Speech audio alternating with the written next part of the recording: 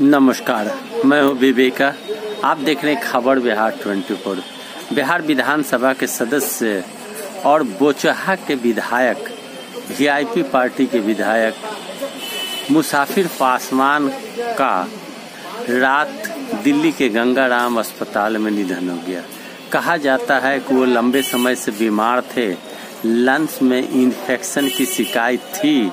इनके मृत्यु के बाद विधानसभा अध्यक्ष ने भी दुख व्यक्त किया। बोचहा के विधायक मुसाफिर पासवान काफ़ी लोकप्रिय थे और पहली बार इन्होंने राष्ट्रीय जनता दल के टिकट पर चुनाव लड़ा और 2000 में इन्हें वीआईपी पार्टी की ओर से टिकट दी गई और ये बोचहा के विधायक बने।